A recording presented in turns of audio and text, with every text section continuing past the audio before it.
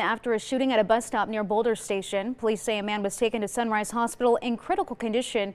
Right now, there's no information about a possible suspect. Boulder Highway is closed near the bus stop and there are transit delays. Well, we have an update.